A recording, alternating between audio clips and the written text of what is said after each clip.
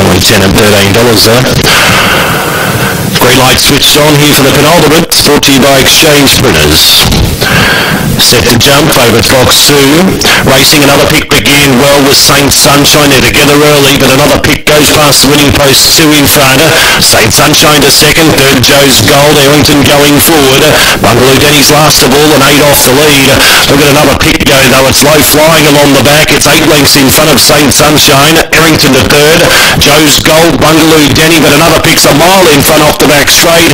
Can it keep going? It's about six in front and yes, another home and hose. Another pick's going to be way too strong. Another pick first, second. Joe's Gold. Third over the line will be It's a photo, Bungaloo, Daniel Errington. Saint Sunshine wasn't far away in 29 and 90 or thereabouts for race 10. Another pick. Number two, trained by Captain Abbott, defeats four Joe's Gold, and it's a photo for third. Two forward a photo. Two forward a photo here on race 10.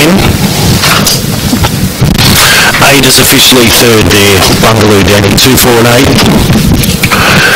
Twenty-nine ninety-eight. Uh, twenty-nine ninety-eight, six is officially fourth.